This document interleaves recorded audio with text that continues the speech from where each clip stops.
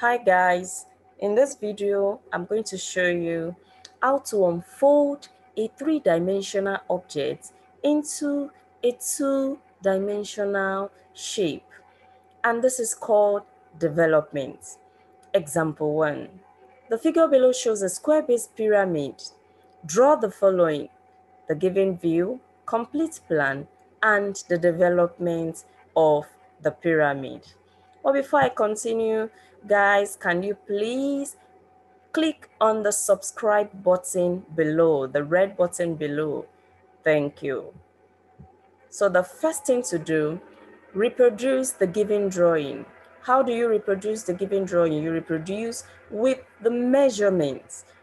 You have a height of 65 and a square base of 50. So this is 5, 5, 5, and 5 in centimeters. So this is 6.5 also in centimeters. So reproduce the drawing, draw whatever is given to you first. So now you can see from the 3D shape of um, a pyramid, when you view through arrow K, you will see a triangle that gives the front view. So this is the front view. And when you look straight downward, when you look at the plan, which is also called the top view, you will see a square at the base. So that was how we have this square base as the plan of the pyramid.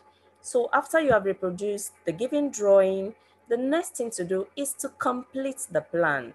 To complete the plan, you need to view the object from the top.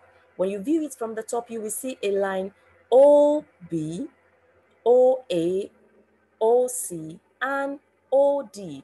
This is called the diagonals. So you need to bring your ruler and connect the diagonals together. Draw the diagonals with a straight line. Just draw the diagonals with a straight line.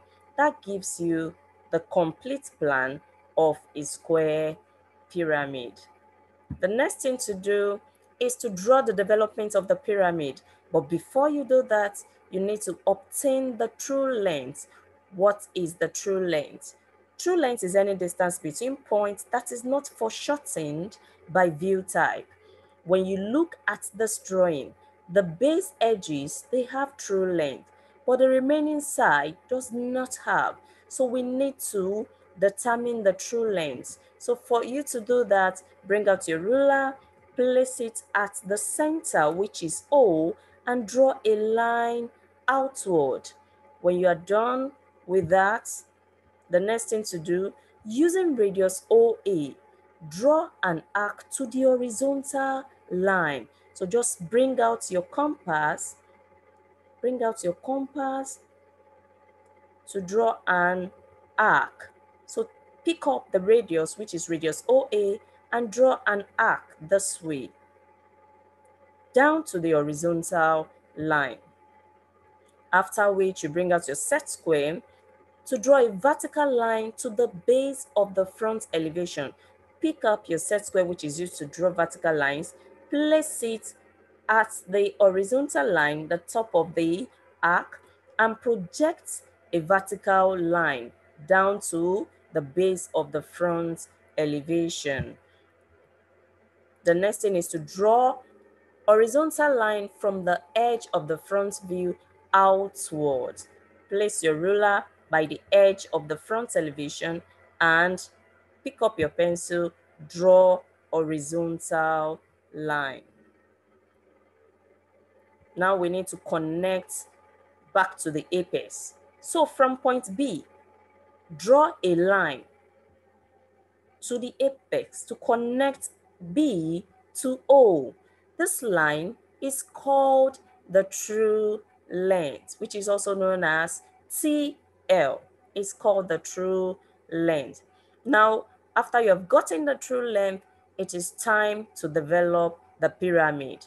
Just pick the radius of OB with your compass radius of OB, and draw an arc. Draw an arc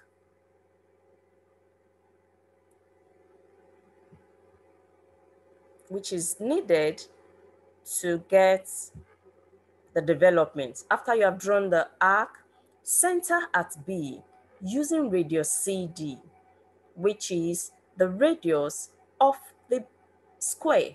You strike an arc.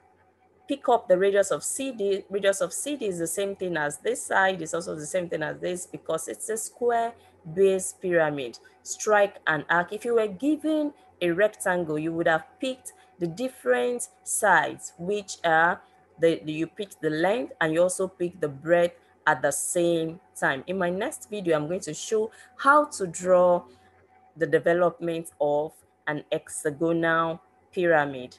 So in this case, just pick up the radius of CD, which is the same thing as the other sides of the square and strike an arc this way.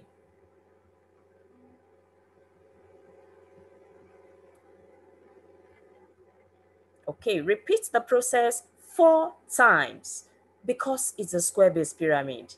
So you repeat it, you strike an arc here. This is one, this is two, three, and four.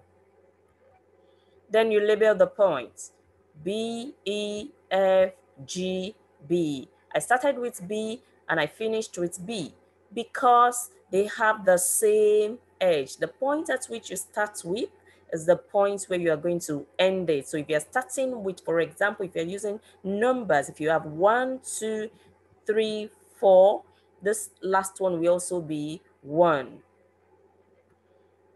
Now you need to connect all the points to O. Connect with thick lines because the edges of pyramids are thick. So we have thick lines, you join them together, join B to O, E to O, F to O, G to O, and B to O.